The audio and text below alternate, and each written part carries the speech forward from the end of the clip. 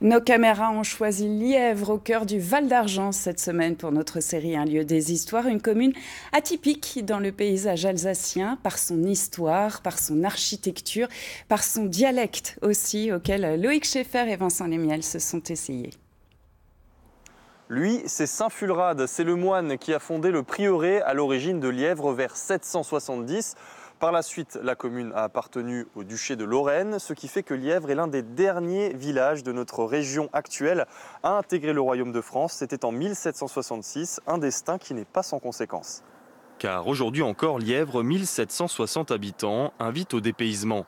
On a arpenté les rues sans relâche, mais aucune trace de cigogne ou encore de maison à colombage. L'encorbellement des fenêtres, typiquement lorrain. Et cerise sur le gâteau, on n'a pas entendu un mot d'alsacien. Bonjour Jean-Luc.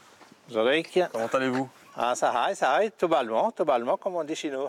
Ça, c'est du patois? Voilà, c'est encore du patois belge. Et d'ailleurs, vous portez la, la tenue traditionnelle? Alors, traditionnel, euh, bon, là, le, le béret, ça, les, les capes de l'essai, hein, donc les gens l'utilisaient pour aller traire.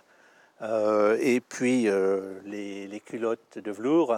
Et on se sent alsacien, quand même, ici ou lorrain? Je dirais qu'on est, on est un peu vosgien aussi, puisqu'on est en montagne. Donc, euh, voilà, c'est vrai qu'on a, euh, on est dans une vallée où on n'a rien de l'Alsace, on n'a pas de cigogne, on n'a pas de colombage, on a un peu de vigne. euh, et c'est vrai qu'on a, euh, on parle le patois belge aussi dans les, dans les fonds de vallée. quoi. Lièvre s'est beaucoup nourri de ce brassage des cultures, de quoi élever le débat, même si le patois belge, c'est déroutant.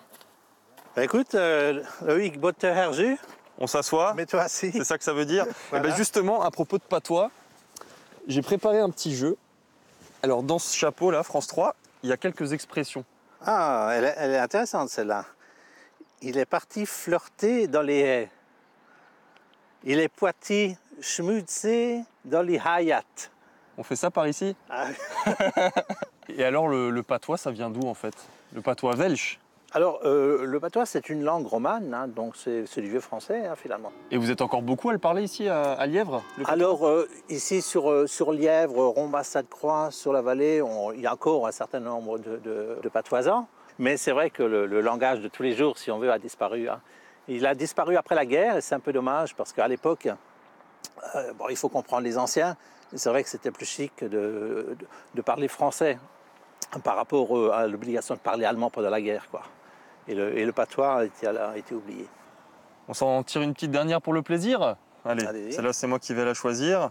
Alors, le chien est passé par la cuisine, il a mangé toutes les poules. Ah, Comment on dit ça? Le chi est passé par les couines, il est mangé toutes les chlines. Vous êtes trop fort. Et que dire de ces pierres, vieilles de 1200 ans et réutilisées pour bâtir cet ossuaire Non, vraiment, Saint-Fulrad peut être tranquille, son héritage est entre de bonnes mains. Vous l'avez compris, à Lièvre, on est fier de son histoire, une histoire d'ailleurs qui continue de s'écrire sur le plan économique. On va voir ça demain. En attendant, au revoir, comme on dit en patois, au revoir et bonne soirée.